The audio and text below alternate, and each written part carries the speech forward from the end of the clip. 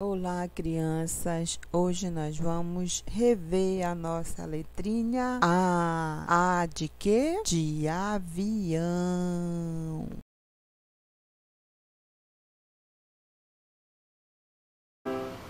A. A.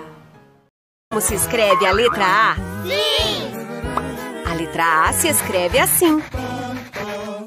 Agora é sua vez. Desenhe no ar usando seu dedinho.